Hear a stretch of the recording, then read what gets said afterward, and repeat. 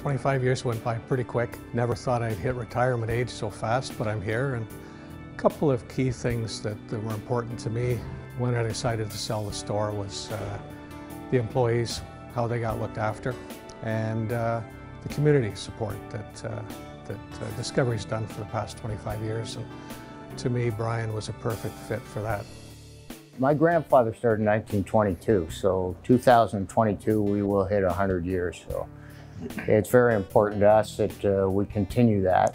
And uh, Alan has been very strong in the community, uh, as we have as well. Couldn't be a better fit for us, quite frankly, and we're, uh, we're delighted to have a legacy that we can continue on that molds into ours.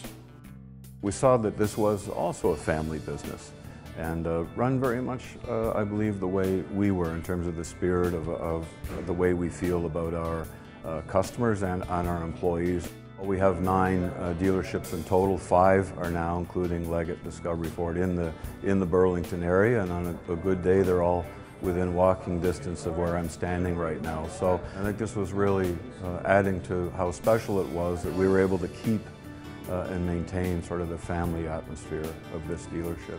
It was really important to me to have the dealership bought by someone that would carry on the culture that we had. You know, we, we made a deal, we shook hands, and I knew that when I shook Brian's hand, we had a deal.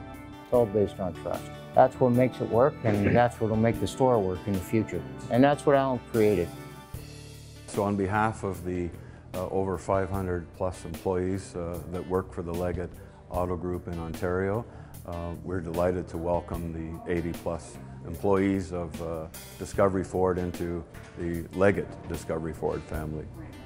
I'm quite confident that Brian's organization is going to take this dealership to another level.